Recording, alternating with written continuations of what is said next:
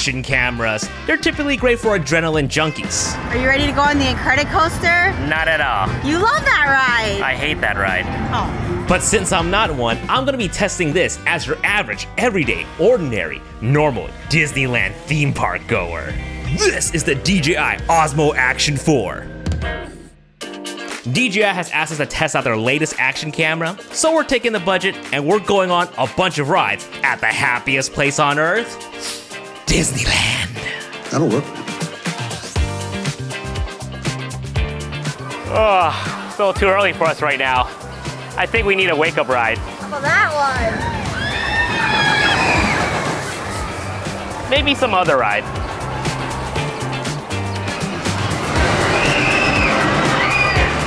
Roller coasters, they're thrilling, but most important of all, they make great POV videos. And unlike firework video shot on a smartphone, this actually has some rewatchability.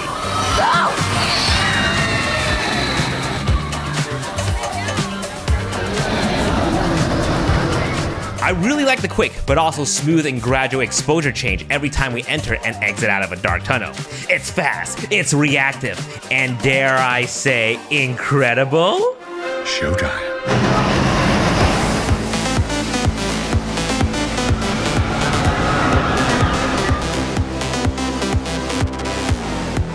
And we're also filming in 4K 120 frames per second, so we can slow this footage down later to see what I've missed while I was screaming internally for my dear life.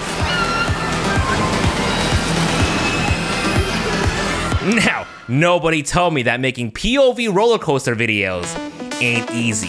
You need 10% luck, 20% skill, and 15% concentrated power of will. You have to keep your head straight the whole time. Any sudden movements will make the video incredibly disorienting. And if you do want to make a turn looking at something, you have to channel your inner robot and turn smoothly.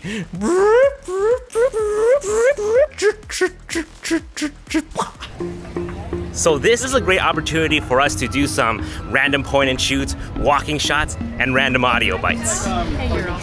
In case you didn't know, DJI is notorious for their flying cameras, and the Osmo Action 4 has a similar sensor size as some of their popular small drones. But since we can't actually fly a drone over Disneyland, we're gonna have to get clever.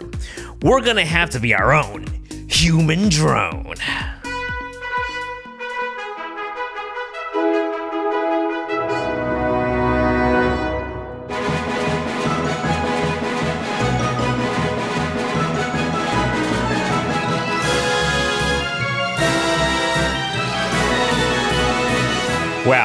That didn't turn out as I had expected, but nonetheless, it's still a pretty unique shot.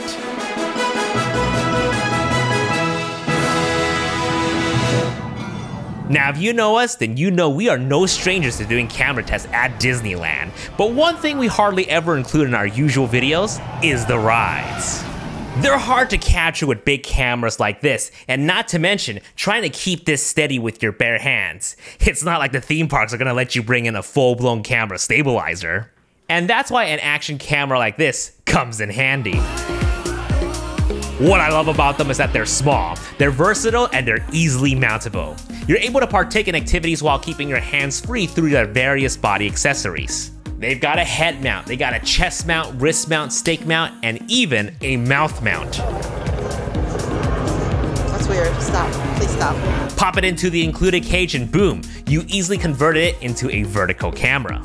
Now, in-camera stabilization is key for action cameras. The Osmo Action 4 has what they call rock steady, not to be confused with the legendary British video game studios that is responsible for the greatest Batman game series of all time, but how steady it can keep the framing. Even just walking with it feels smooth. All these shots here, handheld baby, no gimbal stabilizer. But if you need more stabilization, there is also Rocksteady Plus. Of course, it will further crop into your frame in order to enhance the stabilization, but there are three field of view that you can choose from, standard, wide, and ultra wide. So if you know you're gonna be going through some rough patches in your life, well, you got the ultra wide and Rocksteady Plus to retain a lot of your outlook and keep things nice and smooth. But what if you're not always up and running? What if you just want to sit down and relax to a theatrical show? What if we can find out? Ah, all right, getting that midday afternoon hop. I think we should give the camera a rest. Do you want to watch a musical? What musical? That musical. Rogers the musical. All right, sure, let's go. I still can't believe they actually took a small joke from the Hawkeye TV series and actually made a full-blown Captain America musical. Now, it ain't no West End or Broadway, but hey, it's pretty good for a 30-minute show. We are the Star Cats, and we're here to tell you a story. About superheroes. While there isn't a telescopic zoom on the Osmo Action 4, it acts as a nice master wide-angle shot. Something you can cut to while your other camera that can zoom focuses in on the action. And the audio capture off of this little guy, it ain't too shabby. I could do this all. Cute.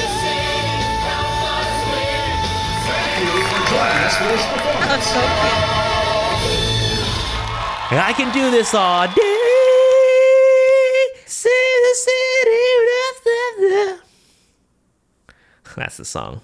Now that we are recharged, time to tackle some rides again. We're here at Thunder Mountain right now. Do you think we should try Horizon Balance? Do you think we should try Horizon Steady? What's that? Horizon Steady and Horizon Balance are additional stabilization features. The first roller coaster ride we did, we only have it on Rock Steady, so you can really see and feel the turns. But the Horizon features keep the point of view leveled. Horizon Steady will keep that view straight with turns up to 45 degrees, whereas Horizon Balance keeps that view locked. Horizon balance is on.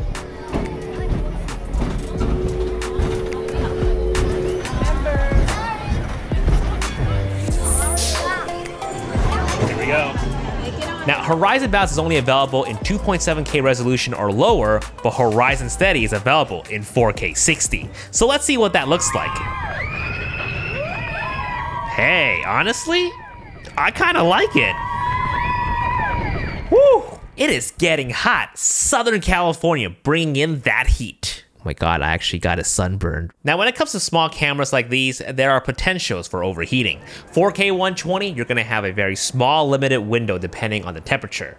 But 4K 60, we have a bit of a longevity. It's what I would recommend for a balance of high quality, high frame rate, and long shoot time. The best practice is to power off the camera when you're not actively using it and power it back on when you're ready to row.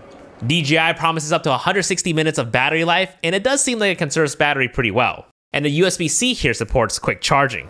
Of course, these are tiny batteries. We got to keep an eye out on them, but we have the battery case here along with the battery bank to keep it charging as we take a break and eat lunch. Time to get this camera wet. Disneyland doesn't have their own water theme park, so the closest thing we actually have is this Grizzly Rapids. Now, unfortunately for us, we did not bring a spare change of clothes. Where did you get that? Oh, you don't have one? No, did you get me one? You can use it after. Don't worry, you'll be fine. We're going on at the same time. Well, good luck.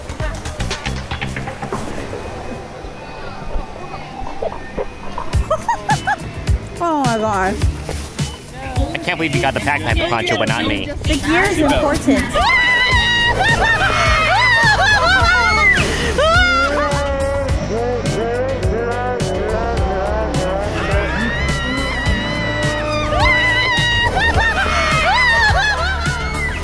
Whoa. Okay. All right. It's a spinning ride. So I'm just I'm just going to save you the trouble and say the camera is waterproof up to 18 meters and the camera came out with no issue. Not us though. Splash splash. But the most important question is, how does it perform in the light? Well, we're gonna find out inside Star Wars Rise of the Resistance. This is my all-time favorite ride. Probably one of, if not the most immersive rides here. Half the fun is pretty much just walking around getting captured, the other half is to watch the stormtroopers miss. So for this ride, I want to make sure that we're getting the best footage possible, so we're going to be dialing in our own settings. But later, we'll also try out the auto night mode to see how that handles the nighttime fun. Now, they told me the sensor in this is a wee bit bigger, so there should be some improvements for these low light rides. Low light is always gonna be tricky, but knowing your settings will set you apart. For this, our settings are 4K 24 frames per second, shutter at 1 over 120, so the Rocksteady has enough frames to work with to stabilize our footage, and we're gonna let the auto ISO run from 100 to 6400. While the ride is dark, the footage looks naturally dark, and the motion is incredibly smooth. Nothing is more satisfying than capturing an intergalactic space battle at proper exposure. The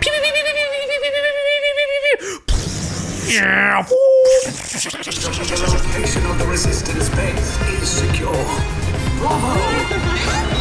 Best what I ride. tell you guys, That's Best that was thrilling. That's the best That ride. was good. Has story, has character, has has, Has everything. thrills, Has everything. has Yeah. AC. Has a beginning, middle, and end. Yep. It has a rising action, falling action, climax. It has everything. Time for us to hop Hop on that Ferris wheel for a fake drone shot. I wasn't quite satisfied with the fake drone shot that we got at the start of the day, Boys have come up with an idea. but my friend Luis said the Ferris wheel might be better. Guarantee it. It's sunset time right now, and we're gonna get some of the best lighting and colors of the park.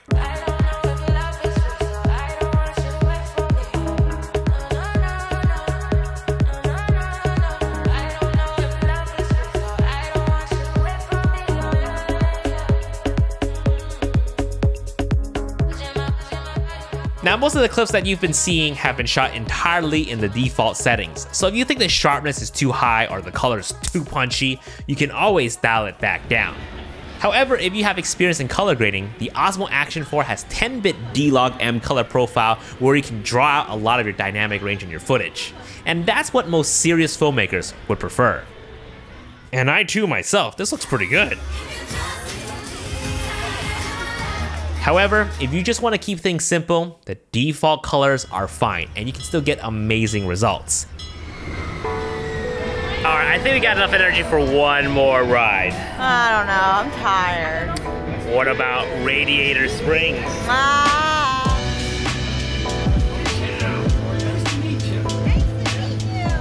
Now the trick to Radiator Springs is to always do single riders. I just won't get to ride with you though.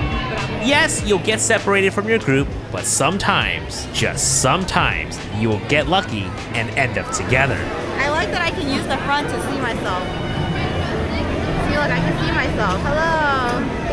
See my now. pimple on my nose.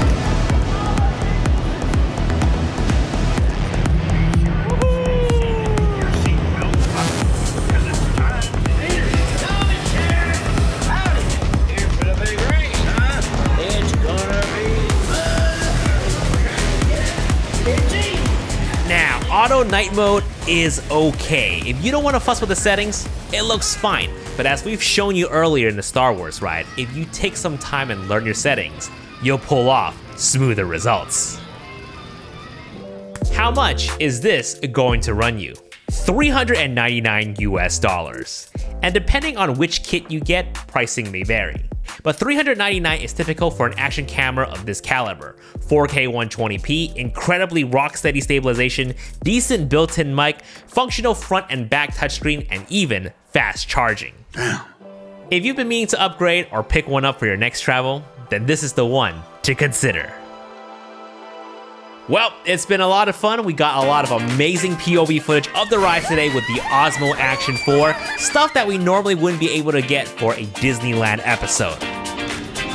Hope you guys enjoy watching. Like and subscribe, and I'll see you guys in the next video. Peace.